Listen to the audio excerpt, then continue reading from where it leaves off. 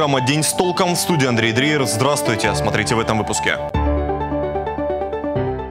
Конфликт интересов. Жители некогда элитного поселка Солнечный остались без воды. Сажать или принудительно лечить? Как реабилитируют наркозависимых в крае? 15 лет со дня смерти Михаила Евдокимова. Как почтили память земляки?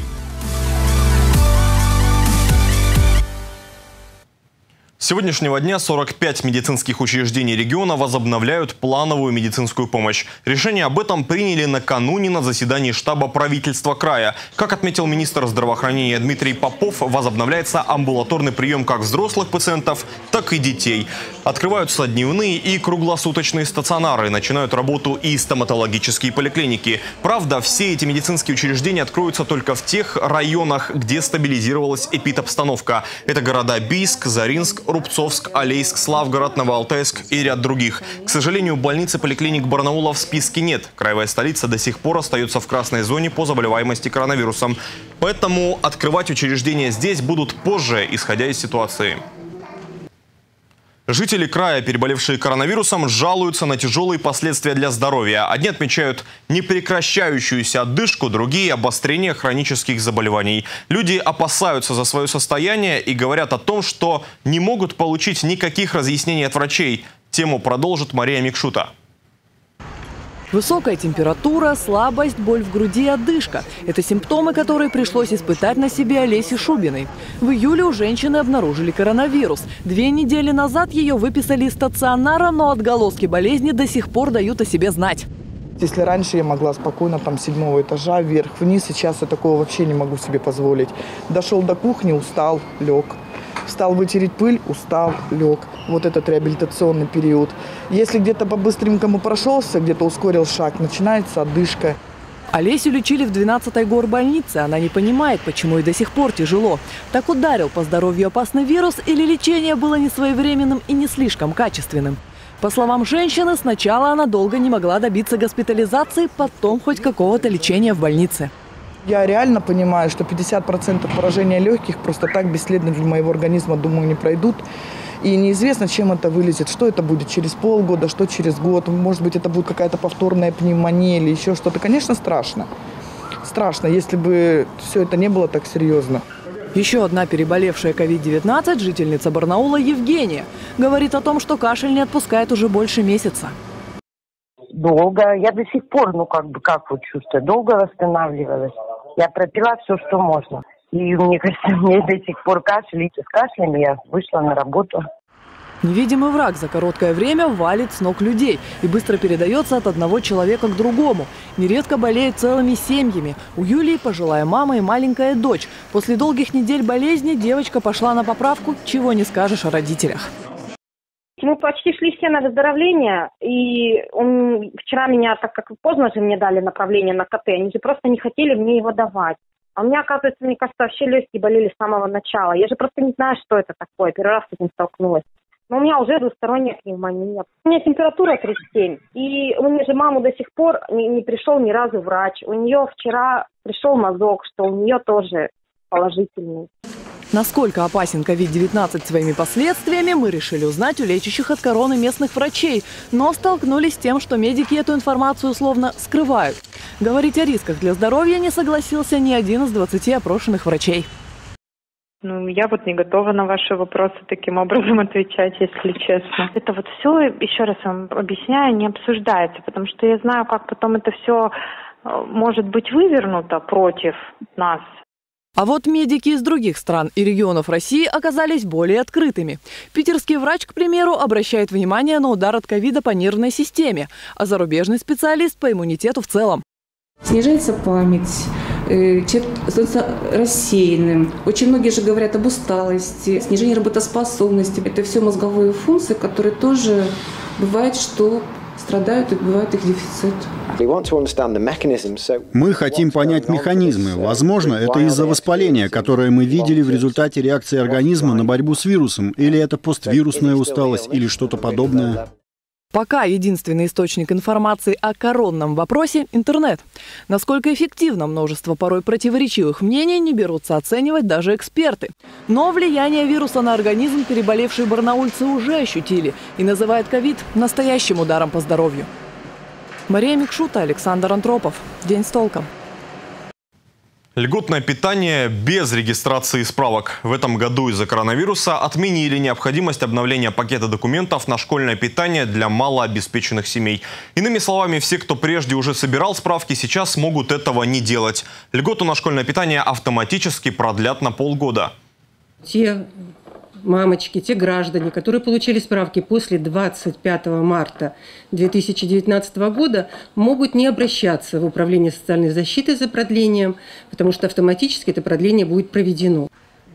А вот родителям первоклассников придется побегать за справками на горячее питание. Через полгода, если пандемия отступит, их участь разделят и остальные. Нынешние документы станут недействительны. Отметим, в 2019 году было оформлено свыше 5000 справок на горячее школьное питание. К другим темам. Поселок Солнечный Первомайского района, в котором проживает более 700 жителей, остался без воды. Причина отключения от услуги поставщиком воды. Он уверяет, что местное ТСЖ задолжало ему крупную сумму денег. При этом жители говорят, платят исправно. В проблеме разбирался Илья Кочетков. Радуемся, если какая-то капелька побежит, то это радостно. Вот, смотрите. То есть воды нету, сухо в кране. Вот, все, вот. Хоть ты как там его крути, открывай, хоть что делай, воды нет. Ресурсопоставщик отключил воду в Солнечном больше недели назад, без всякого предупреждения. Почти сразу людям пришло на выручку одно из предприятий поселка. Временно на несколько дней всего подключило свой водопровод, чтобы хоть как-то снабжать жителей водой. До улицы, где живет Наталья, она доходит лишь ночью, и то по чуть-чуть. Подвоз воды, по ее словам, был лишь единожды. Сегодня я была в администрации Первомайского района.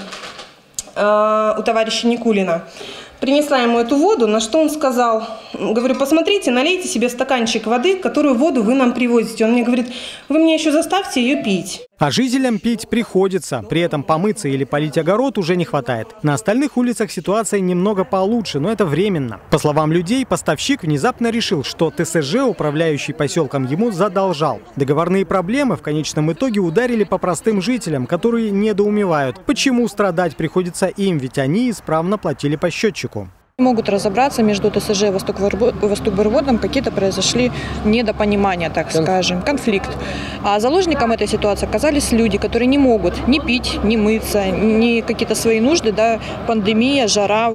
Пробурить скважину и ни от кого не зависеть для большинства перспектива нереальная. В этих местах, пояснили нам жители поселка, бурить нужно глубоко, стоить это будет не менее 200 тысяч вместе с насосом. А потому все зависит от разрешения конфликта между владельцем скважины Восток-Бурвод и ТСЖ, которому принадлежат водопроводные сети. У нас-то получился разрыв. Получает население, допустим, 4 тысячи кубометров, а Восток-Бурвод нам выставляет ТСЖ 7, 11 даже. То есть разрыв на 7 тысяч. И вот в этом э, произошел конфликт интересов. В результате Солнечный остался без воды. Как нам пояснили в администрации Первомайского района, они предложили ТСЖ передать водопроводные сети на баланс муниципалитета. Что касается скважины, вопрос на стадии переговоров. По первому вопросу решение за самими жителями. Пока для них все складывается не лучшим образом. Сегодня их отключили от воды на неопределенный срок до разрешения конфликта интересов. Мы будем следить за развитием ситуации. Илья Кочетков, Алексей Фризин. День с толком. Жители края до конца лета будут получать в повышенном размере пособие по безработице. Обратившиеся в службу занятости с 1 марта получают пособие по верхней планке чуть больше 12 тысяч рублей. Исключение составляют уволенные за нарушение трудовой дисциплины. Период действия повышенного пособия продлили до сентября. Продлены выплаты и минимального пособия по безработице. С 1 мая его размер вырос до 4,5 тысяч рублей, то есть в три раза. При этом с 1 октября на 3% вырастет оклад у депутатов депутатов местного самоуправления, а также ряда чиновников края. Это согласно постановлению уже местного правительства. Кстати, во всероссийском рейтинге зарплат чиновников Барнаул занял почетную третью строчку сразу после двух столиц. Хоть в каком-то рейтинге мы в тройке. Ведь по уровню средней заработной платы Алтайский край в прошлом году оказался на 73-м месте. Бывший замглавы Каменского района Алексей Жихаренко осужден за покушение на мошенничество. Он пытался обмануть поставщиков угля на ТЭЦ Ярового и похитить более миллиона трехсот тысяч рублей.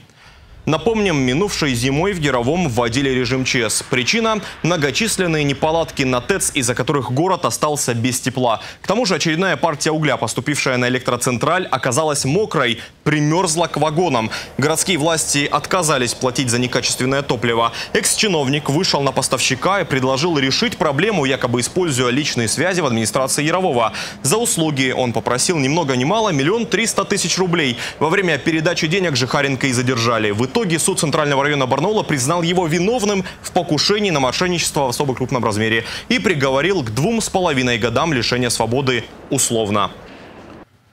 Надписи на дороге сегодня появились в Барнауле, и это не реклама, а предупреждение пешеходам. С помощью трафаретов их нанесли представители молодежного правительства края. Цель одна – изменить статистику гибели пешеходов на проезжей части. Только за последние 7 месяцев погибло 7 человек. Что написали и помогут ли надписи, расскажем далее.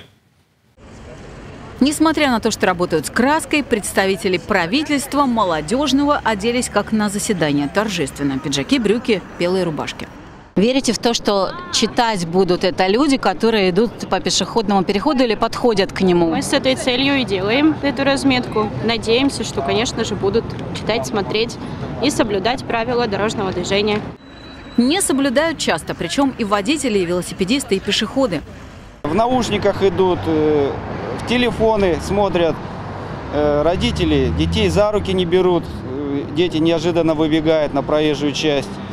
Но и на велосипедах переезжают по пешеходному переходу, нарушая правила дорожного движения. Именно об этом и говорят надписи. Предупреждают, чтобы СМС прочли на другой стороне дороги или взяли ребенка за руку. Общественники считают особенно актуальной фразы накануне учебного года. В прошлом году для их нанесения использовали баллончики, поэтому сегодня процесс немного затянулся. В этом году мы используем а, специальную разметочную краску для того, чтобы, а, так скажем, сохранилось более долго эти надписи. То есть, ну, до снежного покрова, думаем, отстоит. Места, где появились и еще появятся надписи, опасные и нерегулируемые пешеходные переходы города. Будет ли от них толк? Это, пожалуй, главный вопрос. Ответ на который даст лишь время. А если надпись появится у пешеходного перехода «Сними наушники», обратите ли внимание или пойдете, как и шли? Тут надо подумать. Надо 50 на 50, думаю, да. Тут, наверное, табличку надо большую. Сними наушники. Татьяна Голубева, Андрей Печоркин. День с толком. Сегодня исполнилось 15 лет со дня гибели самого народного губернатора края Михаила Евдокимова. Из-за запрета на массовые мероприятия большой традиционный фестиваль в Верхопском не проводили. Но без поминальных встреч не обошлось. Как почтили память известного и горячо любимого многими земляка в сюжете Софии Яценко. Здоровье. Самое главное.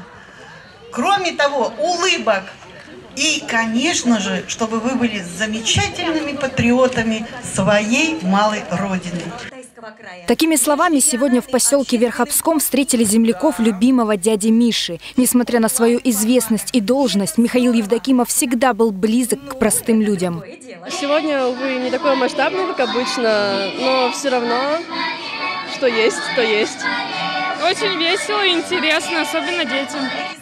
Людей в этот раз действительно гораздо меньше, чем обычно. В связи с пандемией коронавируса масштабный фестиваль проводить не стали, но не вспомнить улыбчивого юмориста просто не могли. Его слова я помню и запомнил на всю жизнь. И диски выходили, помните, «надо жить».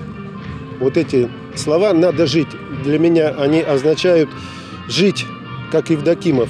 Это значит отдаваться людям, как он, и тратить себя на людей, как он.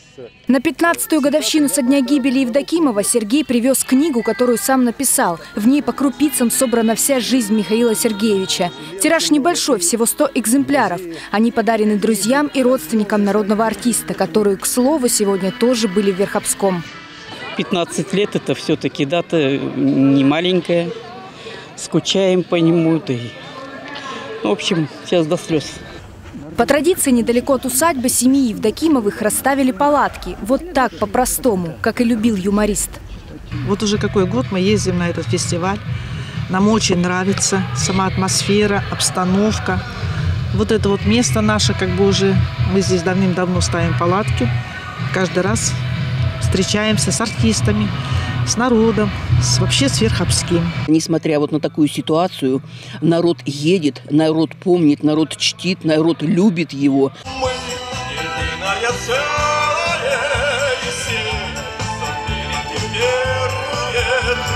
Несмотря на то, что трибуны пустуют, на стадион приехали юные спортсмены. Соблюдая дистанцию, они разбились на группы, чтобы продемонстрировать свои таланты.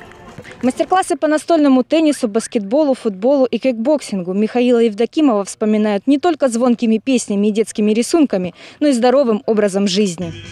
Он любил спорт и своим примером демонстрировал, что за ним жизнь, но сам довольно рано ее покинул. На могиле Евдокимова всегда лежат свежие цветы. Здесь практически никогда не бывает пусто, особенно сегодня. Всегда приобнимет, всегда руку пожмет, всегда найдет слово любому человеку, старому и малому.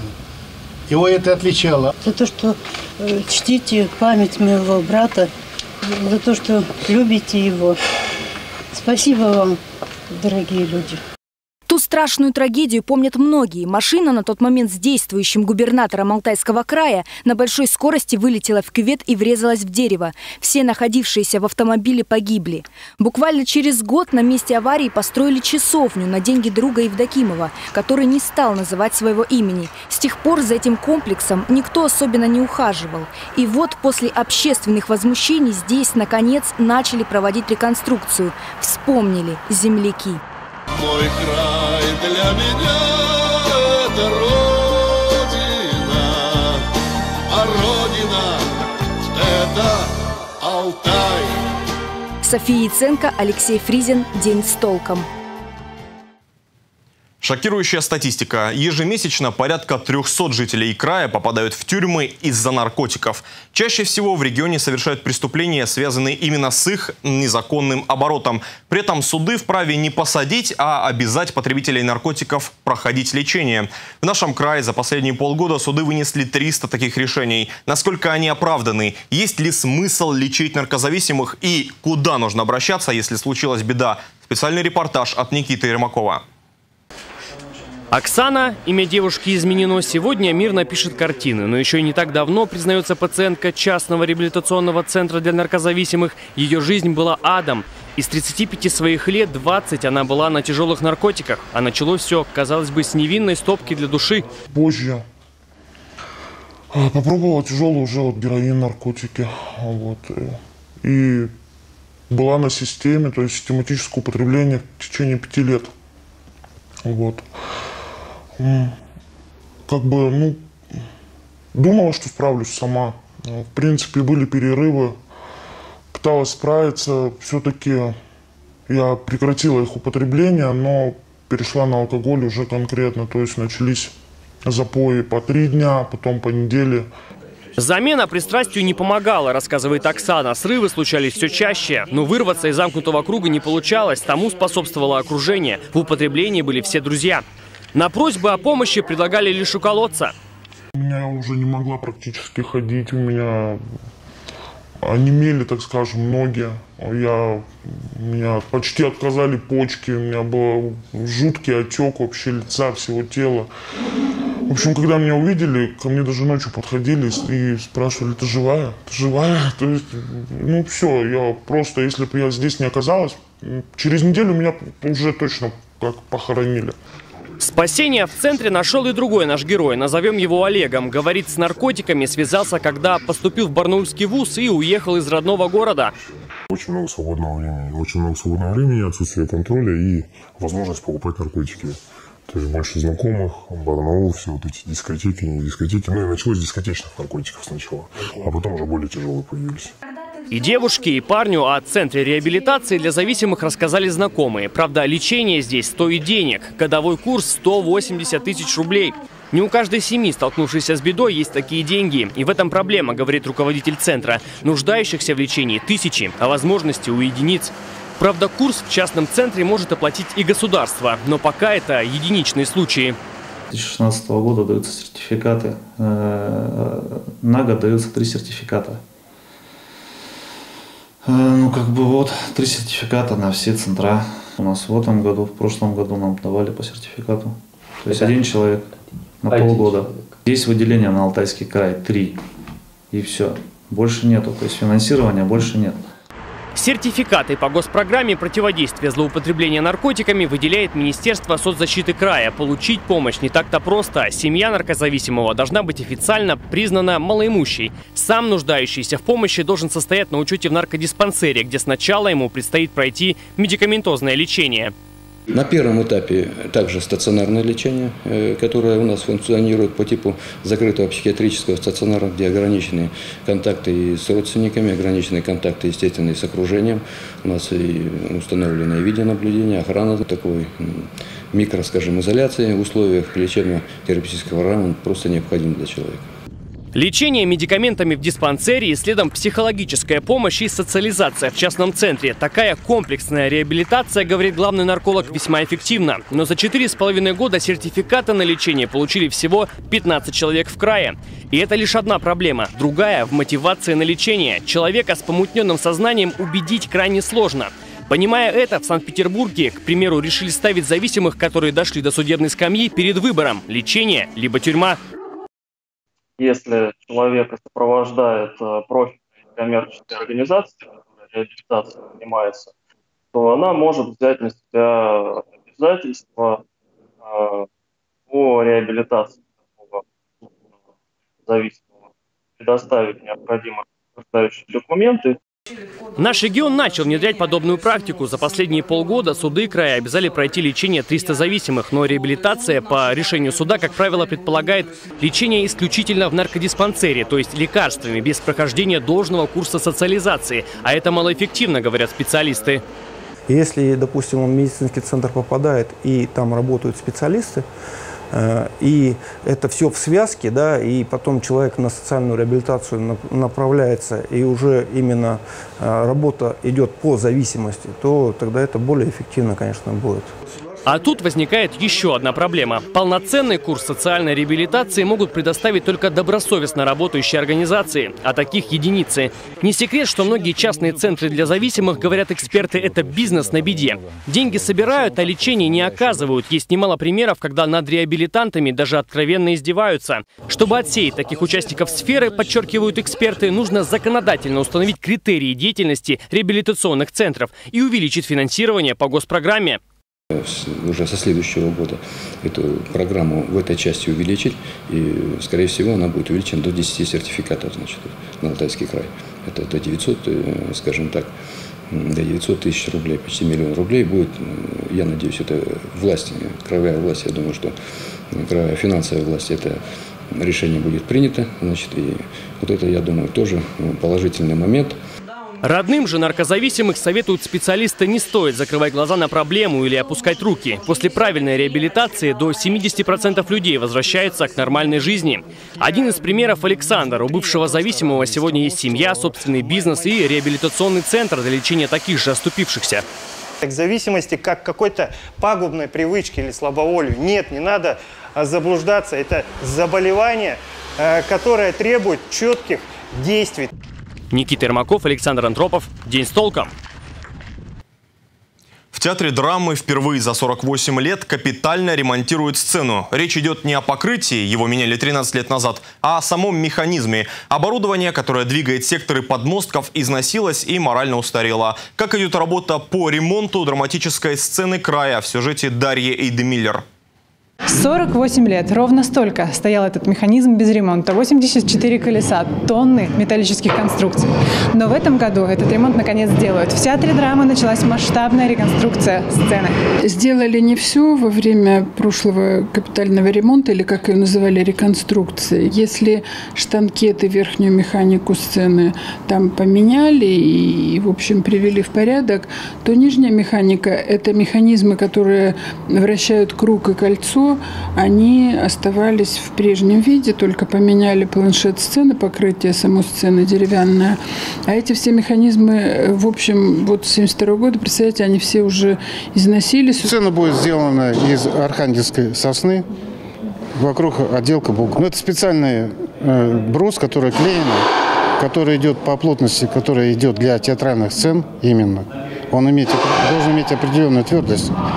Слишком твердое дерево нельзя, поскольку здесь приходится для декорации вбивать скобы. слишком мягкий, он стирается. Теперь этот круг и кольцо будут двигаться автоматически. Раньше за этим процессом следил специально обученный человек. Сейчас ему будет гораздо проще, процесс будет автоматизирован. Сейчас есть метки у них на круге кольца, и оператор должен стоять и совмещать. А это будет все перед ним. Вот так же компьютер, и там будет все это видно. Кстати, ремонт сцены – это подарок театру драмы на столетний юбилей в следующем году. Из краевого бюджета на это выделили 35 миллионов рублей. Но это сердце механизма или нет? Сердце механизма как раз э, вот те двигатели и путь управления. А это, как скажем, основная опора. Основная опора. Мгм. Ну, а сердце механизма вообще-то это режиссер. Сейчас работы только начинаются, но уже сняли металлические конструкции и 7 километров троса весом тонны, которые держат декорации. Уже начали разбирать деревянные конструкции сцены, а это значит, что к началу сезона театр драмы выйдет на новую сцену.